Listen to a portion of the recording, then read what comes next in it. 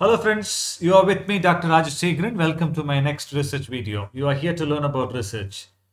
Today uh, we are going to just uh, know about the basics of the different types of research. I'm not going to explain in detail, just I'm going to give you the basic differences. Come let's get started.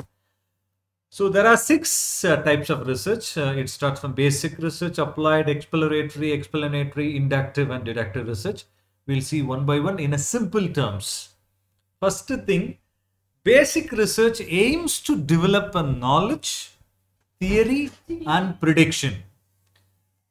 That is the basic thing. So it, it, it tries to develop a knowledge, theory and prediction. Whereas applied research, it aims to develop techniques, new techniques, new product and new procedure. And generally, the people used to get a confusion between applied research and basic research. So uh, please have a, cl- a clear about a clear idea about these two things. Next comes the exploratory research. The exploratory research uh, mainly uh, tries you know tries to understand the under researched problem, the aspects of under researched problem. The, any any exploratory research, it will work on uh, trying to understand the under researched problem means the, the, the research problem which is not worked in a wide, wide way. Next comes explanatory research. Uh, explanatory research, it gives about the causes and consequences uh, of main, uh, what you call, uh, well-defined research problem.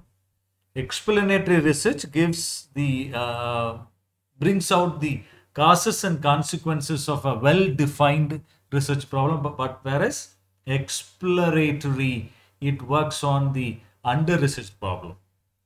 And inductive research, it tries to develop its own new theory. It, it doesn't test any available theory. It tries to develop a new theory. It is called inductive research.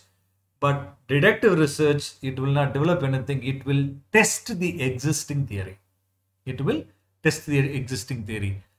And I guess you have understood uh, all these six steps. Let me tell you certain thing and you can think about and you can comment in the comment box what type of research. Okay.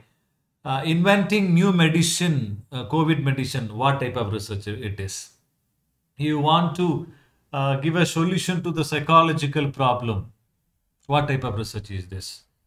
You want to test the stress level of the students. What type of research? And if you have understood all the six steps, please comment in the comment box. I'll catch you in the next video. Bye-bye.